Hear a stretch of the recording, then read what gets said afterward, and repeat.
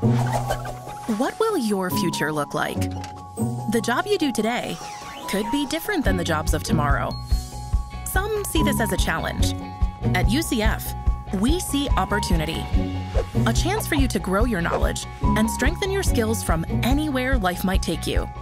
With in demand degree programs and resources for your success, UCF Online can help you prepare for the future and all the possibilities that come with it.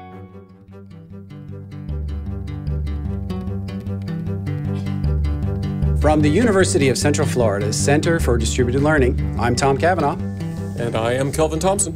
And you are listening to Topcast, the teaching online podcast. Mm-hmm. Hi, Kelvin. Wait what, a minute. What was that? I heard another mystery woo. I thought you vetoed all of those, Tom. I thought I did too.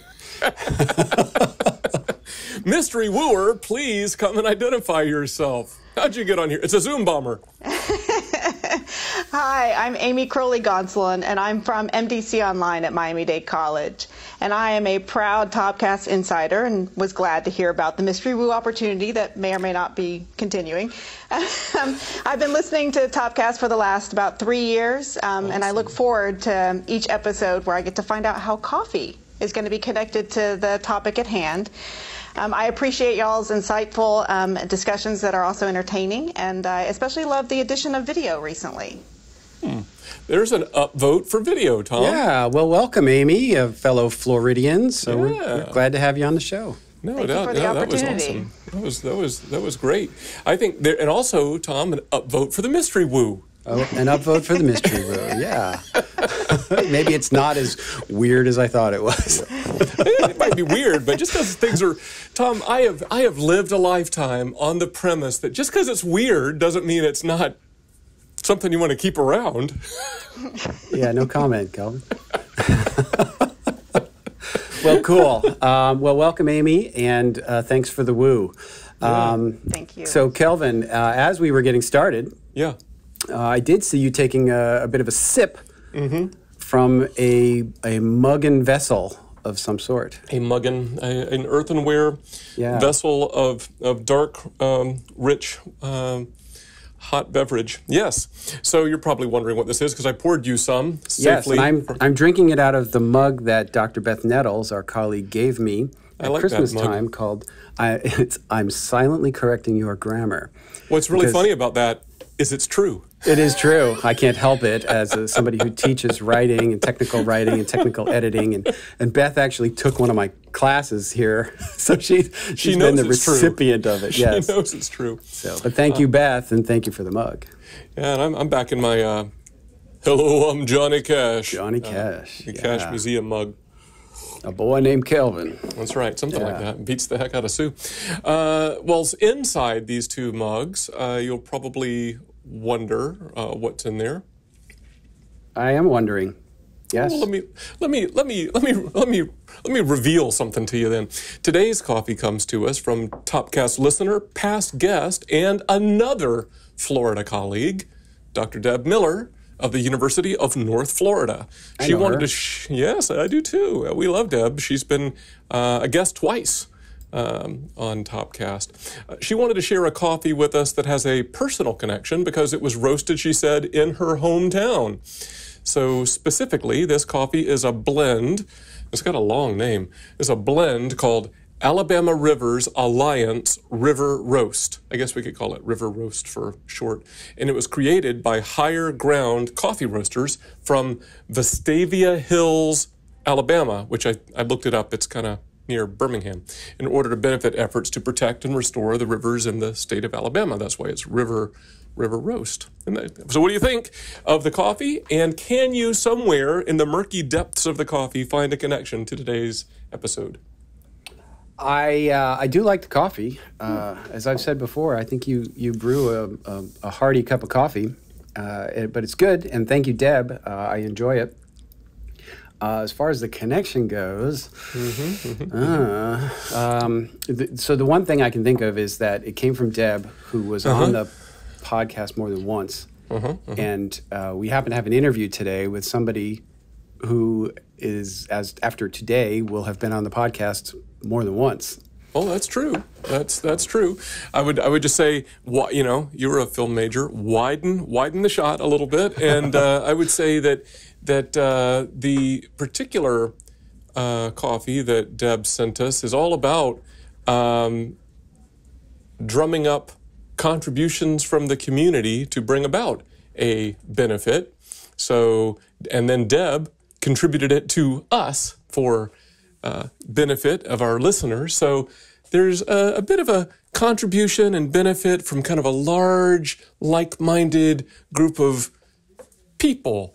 I thought maybe somehow there might be some ghost of a connection to today's topic. I get it now. I understand it now. Yes. Because uh, the person we're talking to is sort of responsible for supporting a community and providing benefit. Uh, yeah, I get it. Yeah, yeah. Well, not one of my best, but there's something. You know? I actually like my connection better. Yeah, well, yours is good too. For the record. Sure. So, you know. so people may be wondering who is this mystery person who has been on before and is about to be on again, and why, yes. pray tell, would he, she, or they be on this more more than once? That's right. Well, I'll tell you why. Please do. Uh, Kelvin. Yes. You recently interviewed Dr. Jessica Knott mm-hmm. friend of the show, yep. from the Online Learning Consortium to discuss some new community engagement emphases at the Online Learning Consortium, which is, yeah. uh, you know, right up there among my favorite consortia. Yeah. If you've you and I are both fellows of this particular consortium.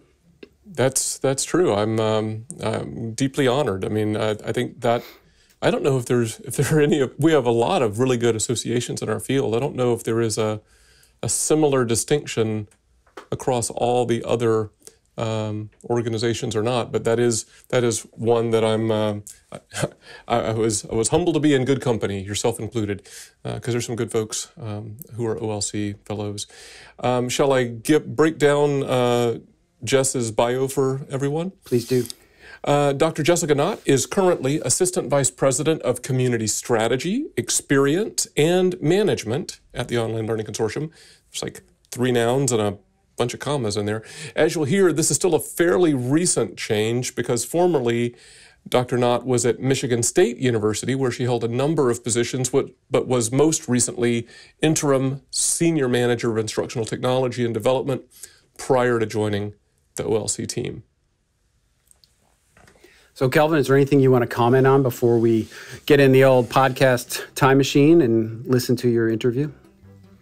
No, no. Jump in the TARDIS. Let's uh, let's time travel, and uh, we'll maybe comment a couple things uh, on the backside. All right. So here's your interview with uh, Dr. Jessica Knott. Hi, Jessica. Good to see you. So glad you could join us on Topcast today. Hi. Thank you for having me. I'm very excited to be here. Yeah, be back, as it were. Back. Right? Yeah, this is my second time, I think. Yeah, I think so. I think uh, you were here previously with Angela Gunder a couple years back, and and interestingly, I think we talked about this recently that at the time you were each at individual higher ed institutions, and now you're both on the staff of the Online Learning Consortium. So, congratulations again for what's still kind of a newish role for you, right? Oh, it's a very new role. Uh, I left Michigan State University at the end of November 2020, so I've only been in this role since, um, gosh, I think like November 23rd. So uh, yeah. it's it's brand new. Still has that uh, new new job smell.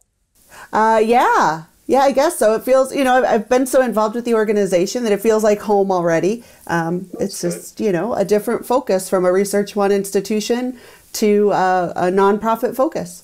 Yeah. So speaking of focus, um, maybe a good place to start would be if you wouldn't mind just kind of telling us a bit about the focus of your role uh, within OLC. I would love to. So, my role is a new one at the organization. My title is um, Assistant Vice President for Community Strategy, Experience, and Management. So, if you boil it way, way, way down, I run marketing and information technology. But the reason OLC put a senior academic technologist and learning designer in a role like that was so that they could focus and we could focus together on the community experience at OLC. Uh, make sure that we're really asking the right questions of our membership, making sure that our membership remains valuable, that the resources and um, collaborations and events that we're putting on are, are what people need to get through not only this time, you know, we're still in a pandemic, uh, but also set people up for future success and um, helping people make sure that they know, you know, we are partners. We're here to help and we're here to celebrate all of the successes of the OLC community. So, uh, marketing, IT, celebration, party kid, whatever, you know, um, a, a little bit of all of it. No, I think that's in, I think that's interesting, right? Um, I think the way you you articulated that of kind of like you got the the big fancy long um, title with a bunch of commas in it, right? Versus well, it's kind of a marketing and IT function, but not filled by a marketing person per se, because you could you could conceptualize the role quite differently depending on the kind of person who is in it. No offense to our marketing colleagues, right? Oh right? no, not at all. Uh, I'm I'm a storyteller. I know right. how to talk across different uh, pillars and verticals. I can talk to. I've been a server administrator. I've worked in academic technology. I cannot graphic design my way out of a paper sack. So thankfully, I have a digital marketing manager that works with me, Danielle. She's very talented. Um, so it's just a matter of putting all of the skills together so that the things that come out of OLC are speaking to the community at large. Um, authentically. Would, yes, authentically. Yes. Right. And so that's where the experience comes from. It's, mm-hmm. no, that, that, that, makes sense to me. And, and, from what I know of you, that does seem to kind of align with some interests that I know you've been passionate about and you know interested in, in in years past when our paths have crossed. And I can I can I can kind of reverse engineer my way back to you know how you how you got here. That that's cool. Now speaking of here uh, I seem to recall reading a blog posting as the year 2021 was beginning that was hinting at sort of new emphases for engaging with our broad community of online education professionals. So, what can you tell us about that? Absolutely. So, uh, it's not just me in this role. It's it's working what? across the organization, right? So, the reason we the reason I wrote this post to be community experience roadmap is to kind of help people see what we have going on internally at the organization and how we're focusing outward, how we're focused inward in order to be able to be focused outward. So, um, you know, people's eyes would start to glaze over if we started talking about the uh, technology processes we were putting in place and the different ways we're refining our uh, product suite, like the scorecard and functionality and things like that. But when you put it in a, a context of experience, those are very important things. These are, are critical tools to the people who are navigating very difficult things like is my online program effective, right? And so we're trying to not only give them the knowledge and rubrics, but also the experience and development and, and the things they need to build around that. So, um, in order to do that, we're taking on a lot of strategic work internally that is externally focused. So, things like figuring out okay, what is OLC to you? Having a lot of conversations. Mm-hmm over and over community. It's about the community. It is about the tools and the resources and the deep expertise that comes from this community and from this long standing nonprofit. But it's about the community. I come to those events, and even if I roll in like half dead and just want to go to sleep, I come out energized because mm-hmm. that's where the people who are dealing with what I'm dealing with and the challenges and opportunities that I have are. And I have that opportunity to connect with them. So um, we have the director of online engagement, Maddie Shelgren. Many of you have met her probably if you're listening to this or heard from her or heard of her, and some of you may ha- not have, but that ties into another thing. So we've got services at OLC, we've got events at OLC, and she's helping us figure out whether we're synchronous or asynchronous, how do we connect across space and time and events and tie all of that together? So that, you know, it used to be, and I don't know if, if any of you have experienced this, but you go to OLC Innovate or OLC Accelerate and you see all your friends and you, you know, chat about just the field and your work with just all these brilliant people and you're at the dolphin pool and whatever. And then you go home and it's kind of like you've gone home from camp and you want to keep tweeting and you want to yeah. You want to write letters you want to know what kind of coffee Kelvin's drinking because you didn't get to have coffee with him that morning right? So maddie's helping us envision how to build those experiences across the different events and working with marketing closely to say like how do we surface those things?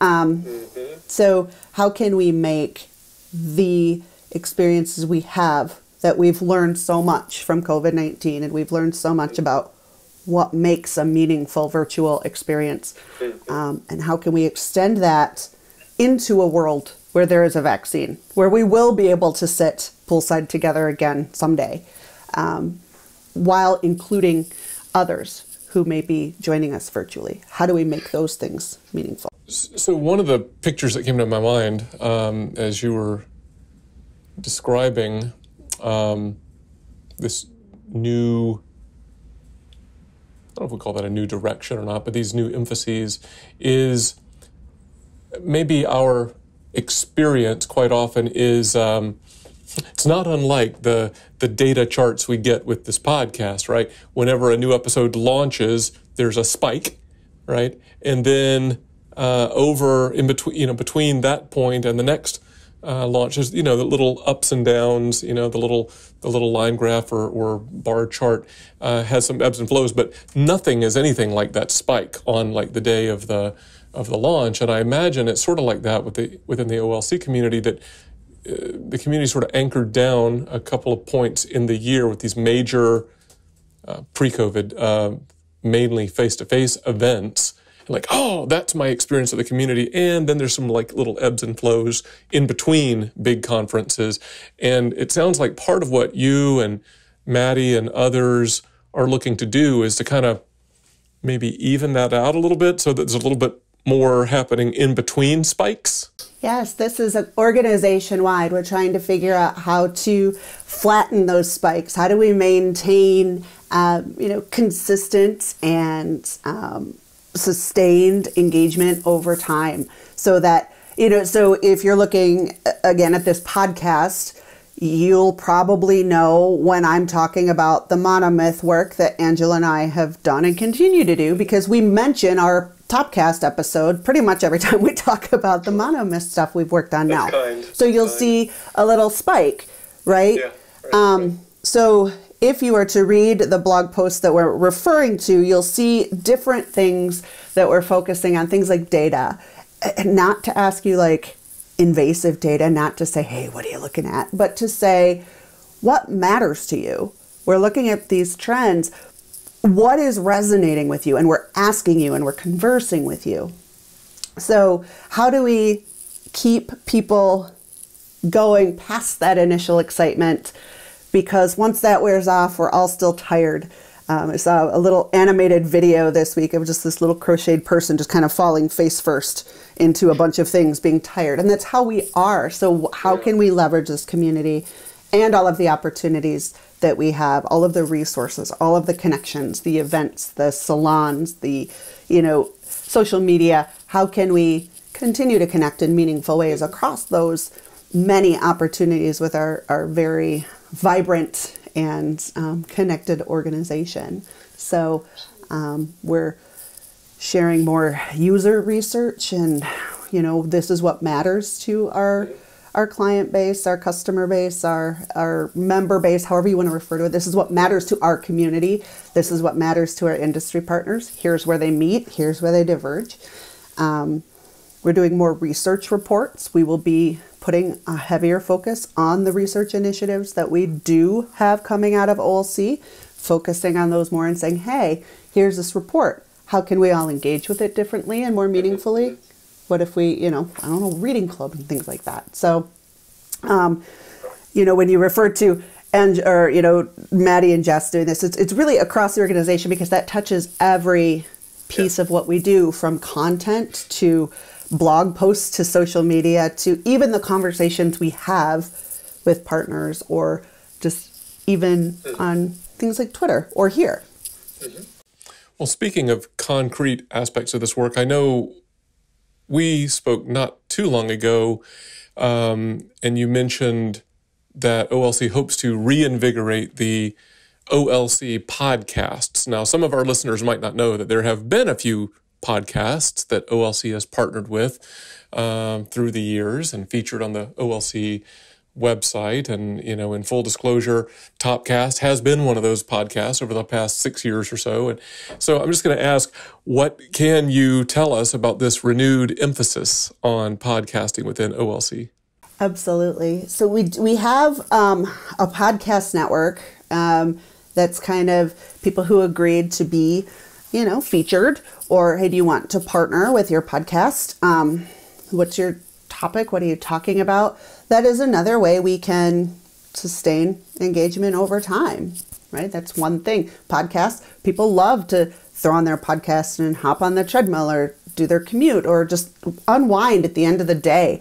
Um, we've been experimenting with language in our newsletters and things like that. Like what you know, when we say, "Hey, I hope you get a chance to drink a cup of cocoa and listen to a podcast," people kind of listen to that and say, "Yeah, you know, maybe I can do that. Maybe that's just 20 minutes out of my day I can kind of spend with that."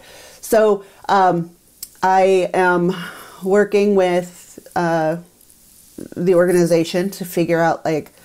Um, what kinds of opportunities exist? How can we amplify those podcasts and make being a part of that network, uh, you know, a benefit for the podcaster as well as for the community?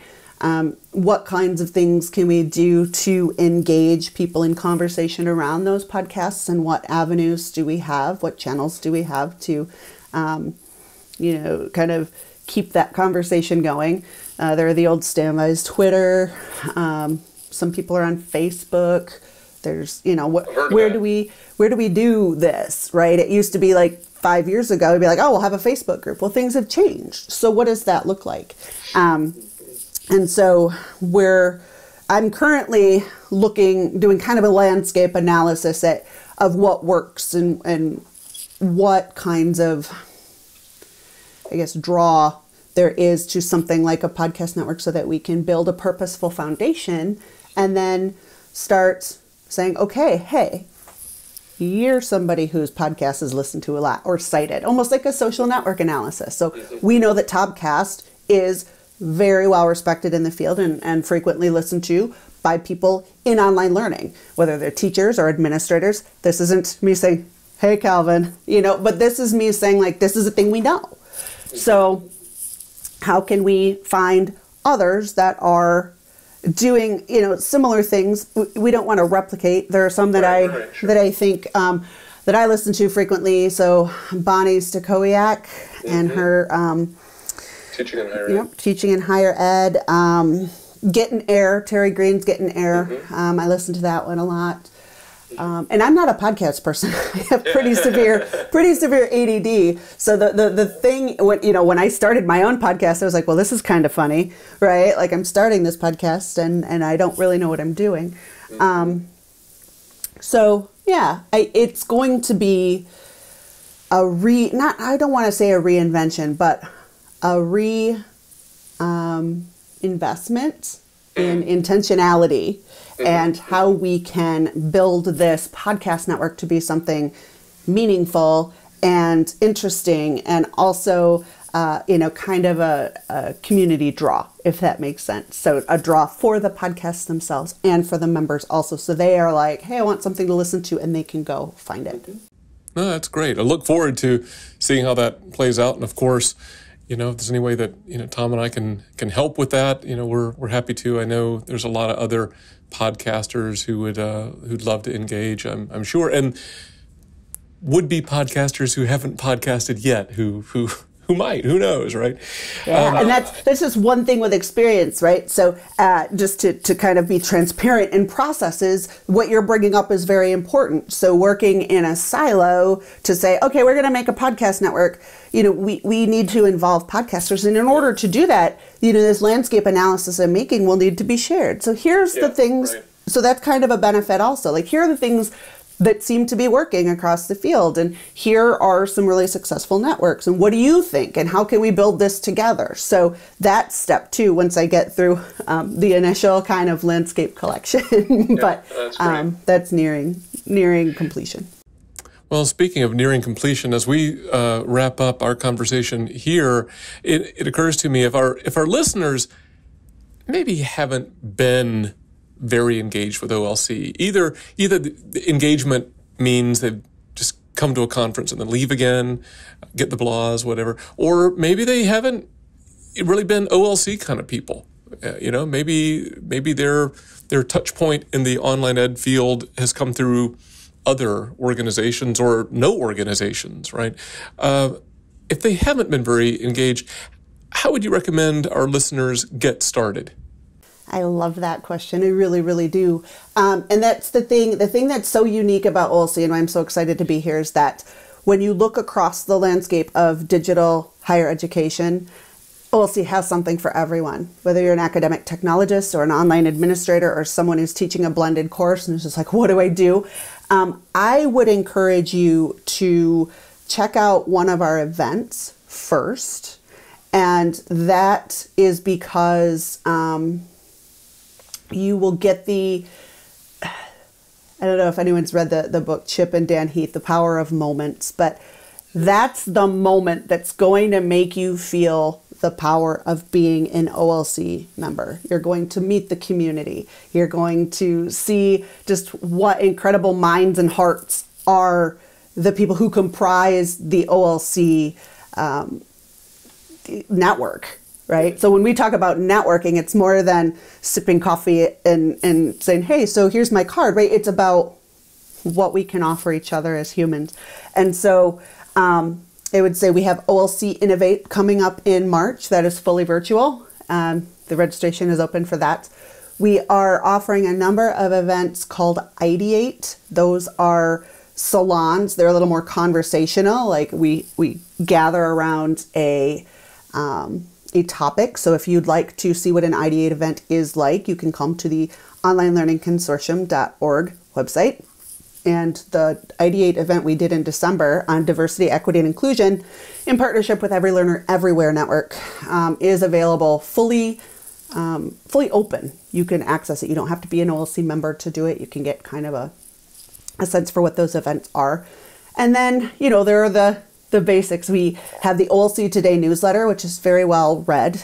Um, it'll offer you what we have institute offerings, news and events, updates, webinars, that kind of thing. It only comes to you once a week, so we're not going to fill your inbox with stuff that you don't want, but we are very purposeful with what we put in that newsletter to make sure that it is meeting your needs. So OLC Today can be just a, a good way to see kind of what's happening service wise and what we have to offer. Um, and if you're into research and reports, come to the OLC website, onlinelearningconsortium.org. Check out the Read tab. That's where I live. Oh, I love the Read tab, all the research reports and the online learning journal and that kind of stuff. So, a little bit of something for everyone. I just wanted to speak across the different interests. Yeah, those are very good recommendations. We'll try to catch all of those and uh, put links in the, the show notes, including to the blog posting that we referred to earlier, and and uh, you know, people can go and peruse and have a jumping off point into the community, into the deep end of the pool. Uh, like your little rubber ducky, you know, you got your duck in the, the, the, nose plugs and then that white paint that you never know what it does, but it goes on your nose when you go to the pool. I, I guess, uh, yeah. Um, yeah, we uh, in Florida we make fun of people who I don't I, that we try not to. We I'm from Michigan, so I know, you know. I know, I know, I know. But you know, it was so great to to have you here with us again, Jessica. You'll have to come back uh, downstream a little bit and tell us a little bit of an update how this is all playing out. But uh, I can't wait to see the the added pizzazz, you know, in the in the community through your efforts and those of others. So, so thanks for being here. Absolutely. And it's a team effort. So come on, community, let's do it. It'll be awesome. So, Kelvin, that was your interview with Dr. Jessica Knott. I enjoyed that. It was indeed. I, I yeah, I thought she had good stuff to say. I'm really glad to hear uh, what they're doing. Yeah, she's a, she's a high energy person with a yeah. lot of great ideas, and uh, I, I, think it's a good it's a good fit uh, in in OLC with her and, and with Angela Gunder now, and Uh, all of them kind of working together. Yeah, and they're they're the real deal. And you know, I think we mentioned the um, uh, the combo interview that we did with them. Uh, I think it was back in like episode 38. We'll put a link to that in the show notes in case people missed that about empathy and storytelling in online ed. Yeah, I mean, I think generally though, uh, there's a great outworking of the importance of, and we joked about kind of contribution and benefit at the beginning of the episode um, with us talking, but there's a great example of of really trying to foster, you know, that that two way benefit uh, uh, of a sub part of our greater online education or digital learning community within within OLC. We have obviously there's a lot of pockets of associations and organizations and so forth. Yeah, and I actually found it really interesting. She talked about uh, creating a, a, podcast network mm-hmm. of sorts, and mm-hmm. uh, you know, from my perspective, rising tide lifts all boats, and I'm happy mm-hmm. to have the the TOPcast skiff on yeah. that on that tide if we can. Yeah, me too. I I, I agree. Um, I mentioned that too, where you know we've we've had. Uh, us and uh, Research in Action and the EdSurge on Air podcast have been featured on the OLC website over the past years. For us, it's been about six, and I think EdSurge on Air came uh, a couple years later, maybe. Um, but you know, doing something more than that and and ginning up some new podcasters, I'd love that. That'd be great. Yeah, absolutely. So one area that uh, I think that was a bit of a, th- a theme was just uh, you know Jessica's call to get involved. Yeah. You know, you even asked her that question at the end, like, mm-hmm. what's thing, what's one thing somebody can do, and and that was kind of her her advice, is like how to get mm-hmm. involved with yeah. with an organization, and and while Jessica works for OLC, um, it, it, that would apply to any of the organizations that we're active in, uh, maybe even some that we're not active in that we could right. be active in. That's right? right. But find the one that speaks to you. That's you right. know, each of them have a kind of a different little emphasis. Like for example, yeah. WCET is very strong in policy. If you have a mm-hmm, particular mm-hmm. interest or emphasis in that, but not exclusively, right? I mean, there's a lot mm-hmm. of other community things. Edu- EDUCAUSE is uh, much more emphasizes the technology. Right. I would say. Right. Um, uh, maybe would you say more of the continuing uh, and extended education dimension yeah, of our family? and then like for example, I just this week got out of participating in their Solar conference, oh, yeah, and that. and that has a particular emphasis in kind of the administration and mm-hmm, leadership mm-hmm, side mm-hmm, of mm-hmm. things. Yeah, good. And there's others, right? And but it, it beats the heck out of just staying in your own little institutional bubble just dealing with your own problems. right, right. It's like yeah. going to a twelve-step group or something. You know, and, and you know, it sounds about other people's problems. it sounds crazy, but uh, you know, I I'm sure you hear this, but I hear this from others uh, about our podcast. That yeah. if if you're a one-person operation at yep. a small community college, maybe in a rural area or something, and yep. and your job is to help foster online learning the the podcast becomes something of a community, and you realize yeah. maybe you're not alone. That there are a lot right. of people dealing with the same issues you're dealing with, yeah. and if we can be some small contributor to that, that that's, that's right. why we're here. But don't stop there. No, definitely don't stop there. But don't stop listening either. No, no, no, don't, no. don't, don't do that. Don't do that. So, any any final comments on on your conversation with with Jessica before we before we get to the bottom of our coffee cups here?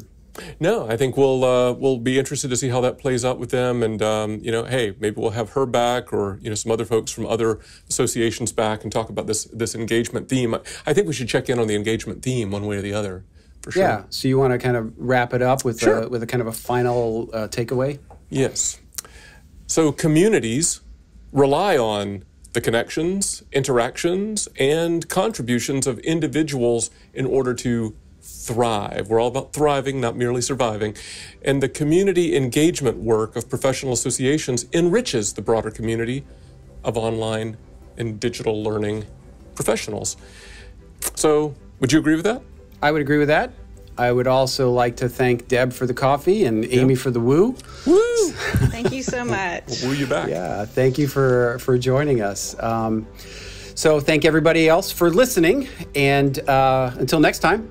For TOPcast, I'm Tom. I'm Kelvin. See ya.